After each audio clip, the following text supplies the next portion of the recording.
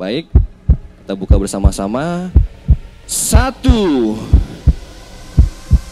dua. Di setiap pertandingan itu selalu ada kalah dan menang. Begitu juga di audisi. Akan ada yang berhasil lolos dan ada juga yang harus berjuang lebih keras lagi.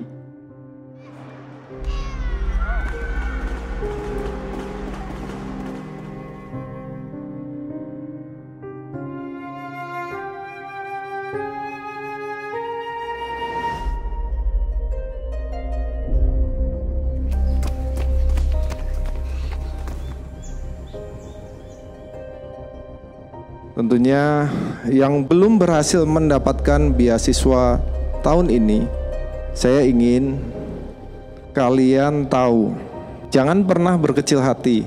Setiap perjalanan pasti ada tantangannya, dan ini bukan akhir dari impian kalian.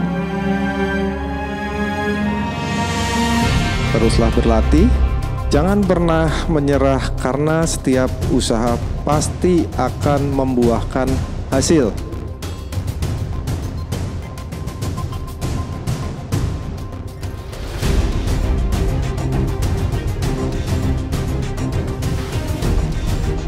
Baik, kita buka bersama-sama. Satu, dua, tiga.